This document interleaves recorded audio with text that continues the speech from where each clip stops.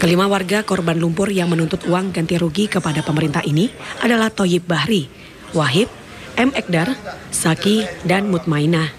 Kelimanya adalah warga Dusun Ginonjo, Desa Besuki, Kecamatan Jabon, Kabupaten Sidoarjo. Kelima warga ini memiliki lahan tanah seluas 17,1 ribu meter persegi yang kemudian dijadikan sebagai kolam penampungan lumpur Sidoarjo. Namun kemudian di belakang hari, tanah tersebut belum mendapatkan ganti rugi dari pemerintah yang pada waktu itu ditangani Badan Penanggulangan Lumpur Sidoarjo. Tersendatnya pembayaran ganti rugi ini dikarenakan ada perbedaan pendapat status tanah antara warga dengan Badan Penanggulangan Lumpur Sidoarjo. Warga mengklaim tanah mereka adalah tanah kering yang seharusnya mendapatkan ganti rugi 1 juta rupiah per meter perseginya. Sementara BPLS menilai itu tanah sawah dengan ganti rugi hanya 120 ribu rupiah per meter perseginya.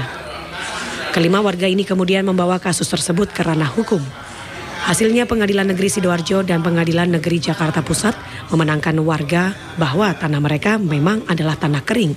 Namun hak warga tetap belum dibayarkan. Warga kemudian menggugat Presiden waktu itu SBY, Menteri Pekerjaan Umum dan Kepala BPLS tahun 2012. Demikian pula tahun 2015, Mahkamah Agung lewat putusannya juga menegaskan bahwa tanah warga adalah tanah kering dan meminta pemerintah segera membayarnya. Kita sudah berusaha untuk membuktikan bahwa tanah kita itu darat pertama.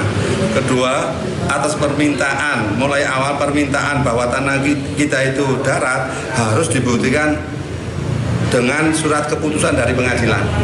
Karena tanah kita itu dulu darat pernah dipakai untuk sawah akan tapi karena itu tidak ada irigasi akhirnya berhenti tidak pernah ditanduri lagi ditanami sawah akhirnya kita uh, tidak dibayar tanah darat maunya pemerintah itu atau pihak uh, Lapindo, pihak BPLS itu membayar tanah sawah.